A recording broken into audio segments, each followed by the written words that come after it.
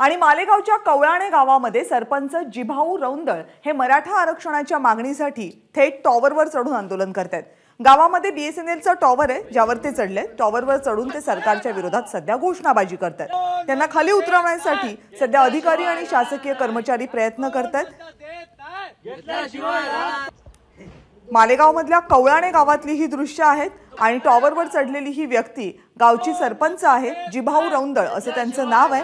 मागणी आहे मराठा आरक्षणासाठी आणि हे सध्या टॉवरवर चढलेले आहेत.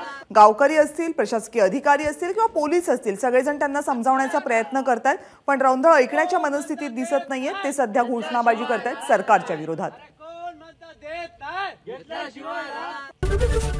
एबीपी माझा उघडा डोळे बघा नीट.